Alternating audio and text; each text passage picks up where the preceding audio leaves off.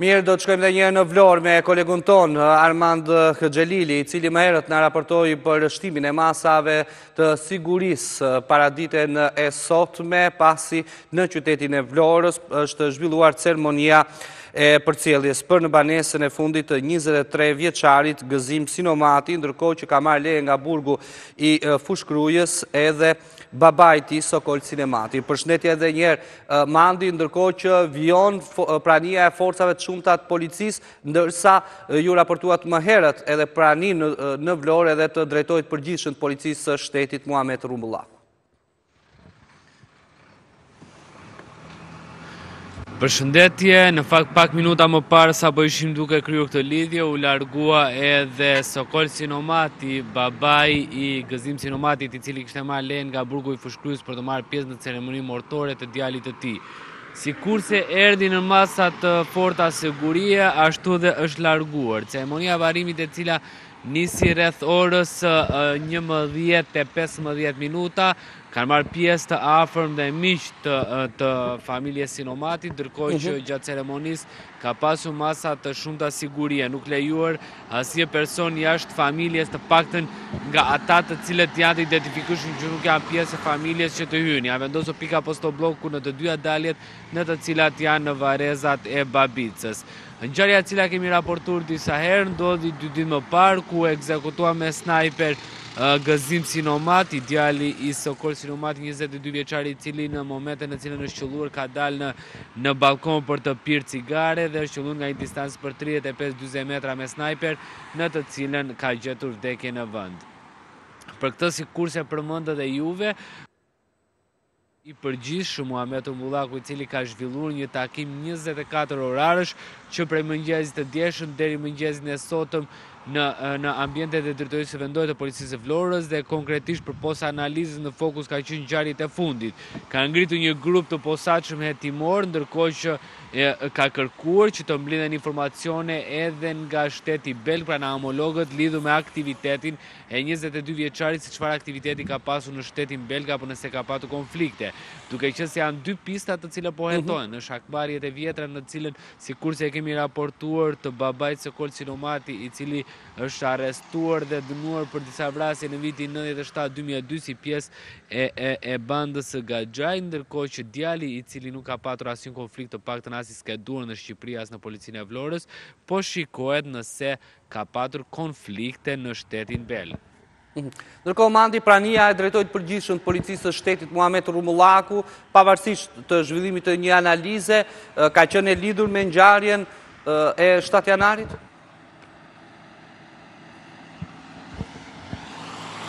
Në fakt, në fokus ka qenë ngjarja e shtatë janarit. Në mhm. qytetin e Vlorës kanë ardhur grupe të forcave Renea, të cilat në bazë të informacioneve që kam normalisht jozyrtare nga ana e policisë, kanë ushtruar disa kontrolle në disa banesa të cilësuar si eksponentë apo të skeduar në qytetin e Vlorës. Janë zhvilluar kontrolle mbrëmjen e djeshme, ndërkohë që Normalisht do të ngrihet edhe sikurse përmenda grupi i posaçëm që është kërkuar nga Muhamet Rrumbullaku, por pritet që forcat Renea të jenë edhe për disa ditë në qytetin e Vlorës, në mbështetje të forcave të ndërhyrjes së shpejtë, por edhe forcave operacionale të drejtorisë vendore.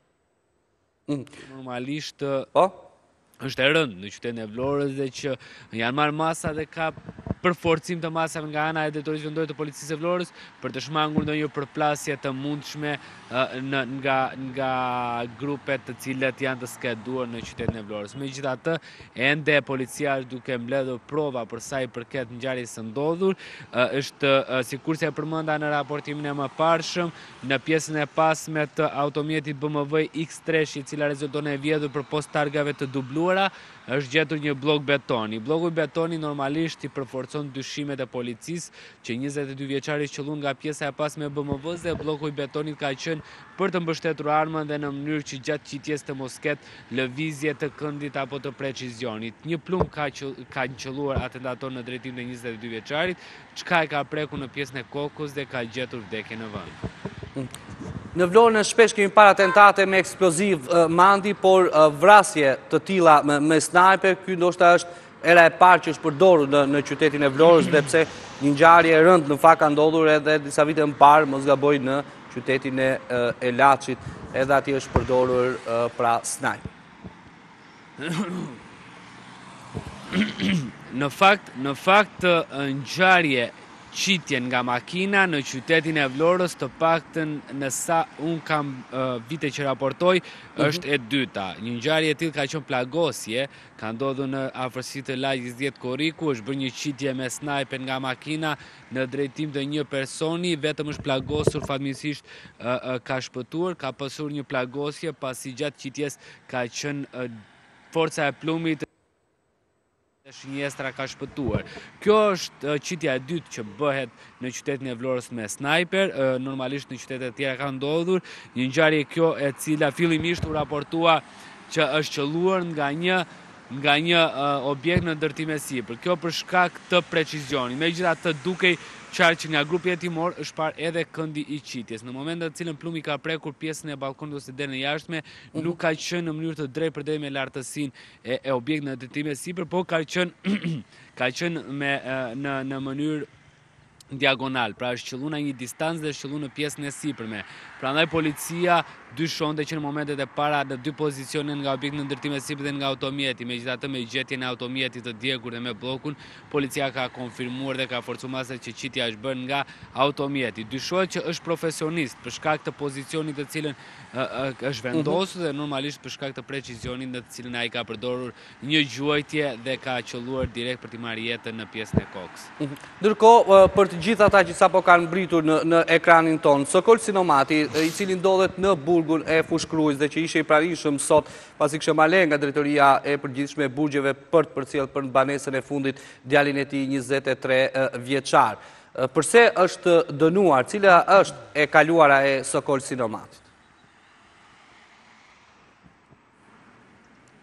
Në fakt, Sokol Sinomati nuk është një emër i panjohur për policinë e Vlorës apo edhe më gjerë. Sokol Sinomati i njohur me nofkën Buzderri, në vitin 97 ka qenë pjesë e anëtarëve ose anëtar i bandës së Gaxhait. Në vitet e mhm. mbrapshta të 97-s, në të cilën së bashku me persona të tjerë janë bashkuar grupit të Gaxhait.